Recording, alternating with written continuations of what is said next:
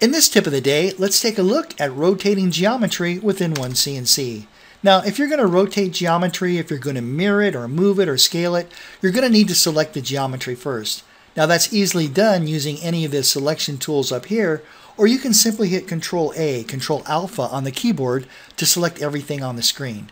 Once you've selected the geometry, now you can rotate. Now there's two places to select the rotate tool. You can head over to the command manager and select transform and then select rotate. That's one method, or you can choose from the transform tools located at the top of the screen, select the third option from the right, and that's your rotate tool. Once you've done that, OneCNC wants us to specify a location to rotate the geometry around. Now you can come over here to where it says coordinate. You can type in a location. I'm going to use X0, Y0, Z0, which is the default. I'll click OK, and there we go. Notice how OneCNC provides us with a digital compass. This digital compass is going to be applied to the current construction plane, and it's divided up into handy 15 degree increments, what makes it very easy to snap those increments and rotate the part. I'm going to snap here at 90 degrees, left click, and that's it. Very, very simple. Okay, let's undo this. And let me give you another example. I'm going to zoom out, going to select the geometry, Control A on the keyboard. We're going to go into rotate. This time I'm going to just digitize the datum with a left click.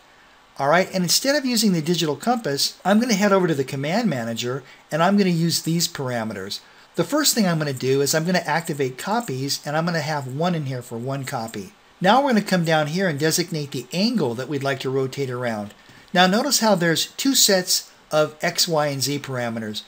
The first three parameters are rotating around the current construction plane, and the last three parameters are if you'd like to rotate around the world coordinate system. In this example, because I don't have any extra construction planes, it really doesn't matter which set we use here.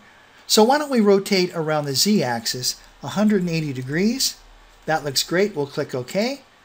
And there we go. And you can see that because we specified a copy of one, we have one copy, and that's rotated 180 degrees around the datum.